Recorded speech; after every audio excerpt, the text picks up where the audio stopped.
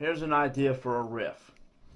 On the E string, low E string, third to fifth, and then on the A string to the third. But here's the pulse and the tempo.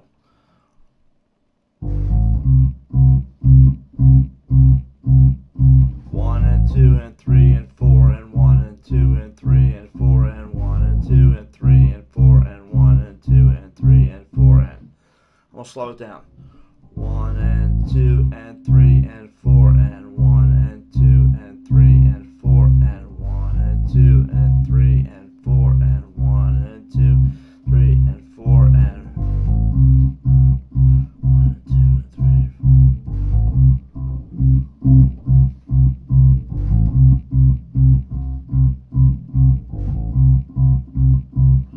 walking it with these two fingers.